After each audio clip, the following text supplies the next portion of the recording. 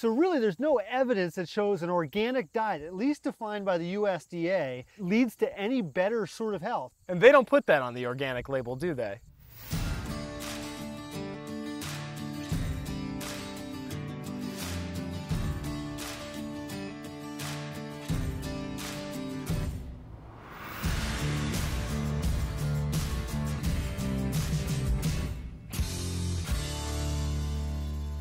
What up?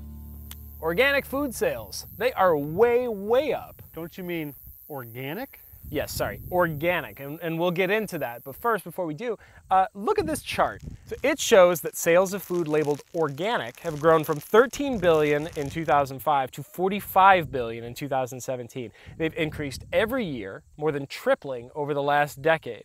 And, and why? Because, uh, because organic means it's better for you, it's more ethically sourced, uh, it, it starts with the letter O. I, I, don't know, Andy. What what does what does organic mean? It doesn't mean anything. The the, the word organic when it, it's branding, it's marketing. It, it means nothing to the the actual consumer about what he's eating. So it's meaningless. Yeah, so basically the idea of organic is meaningless. Yeah, we all know there's differences in the way that farmers can raise things. They can add certain chemicals and do certain things to the ground and the crop.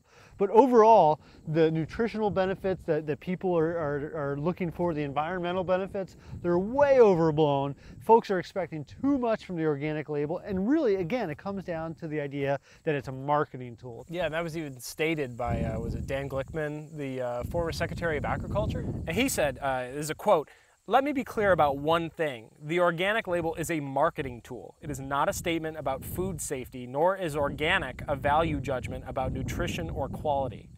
So essentially you're being sold the same crap. Uh, it's just being repackaged in a earthy brown box, maybe a nice like uh, made from recycled materials label and a, and a nice happy green organic label.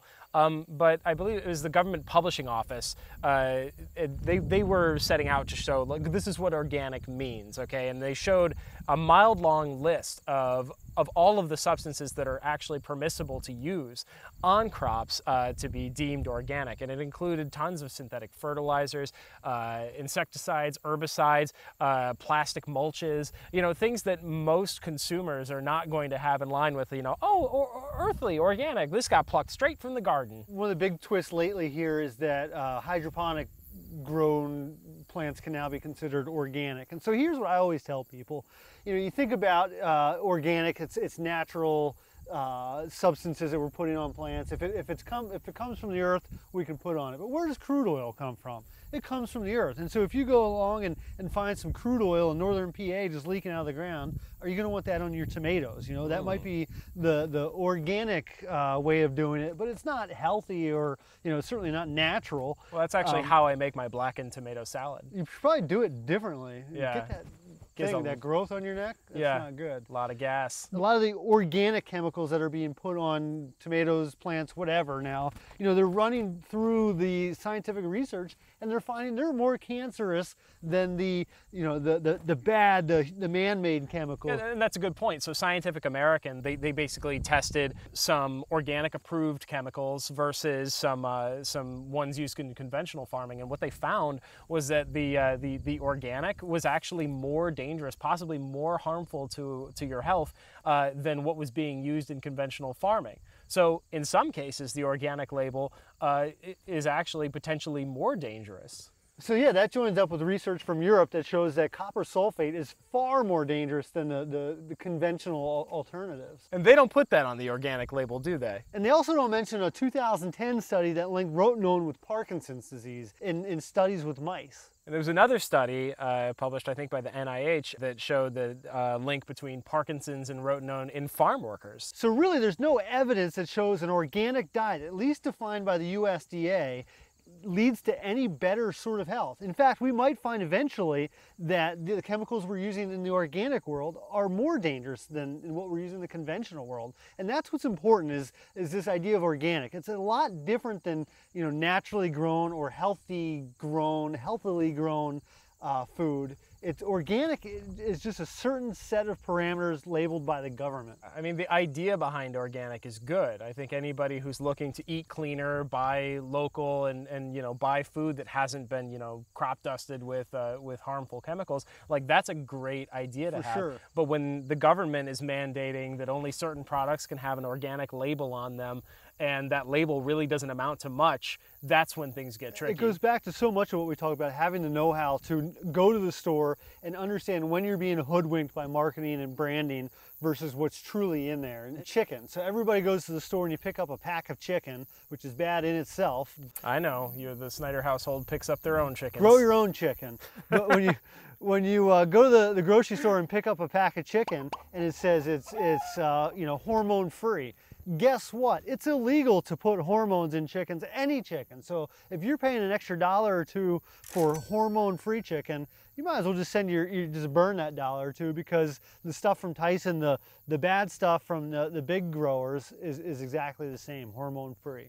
Yeah, I mean, but you can't deny it is good marketing. You know, we're talking 45 billion in sales thanks to a nice little green label. You know, that's 10 billion dollars more than Nike, and they've got a swoosh. it's damn good marketing. It's not the first time that Americans have been duped by, by good marketing. So a question for you. We're going to Maine soon. How do you feel about some good lobster? I love good lobster. Love it on some nice bread, a little bit of butter, some spicy mayo. Mm. You've been duped. So the story behind lobster is, you know it used to be prisoner food and there was con- a controversy about even feeding lobster to prisoners. It was, it was like feeding them rats or mice. It was that low on the scale.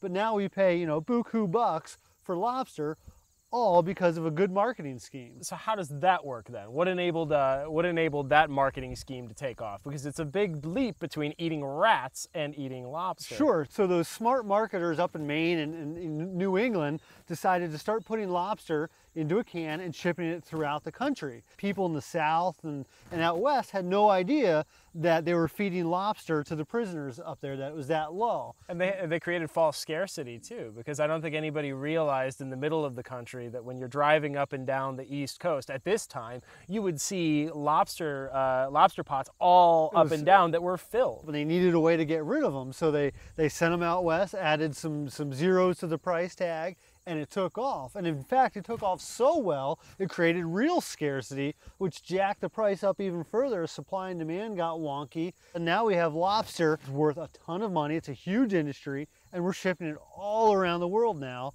because of a great looking marketing scheme. I'll think about that when we're in Maine and I'm paying $28 for a lobster roll. So I mean, as far as like what the takeaway is, buy local. You know, people think buy organic and they think that that's them buying healthy. You know, if you really want to be healthy, know your butcher, know where your food is coming from, and if you can grow it yourself with as little pesticide or none, ideally, uh, but as little as possible. You don't have to grow everything yourself. Just go to the local farmer's market and, and get to know who's growing it.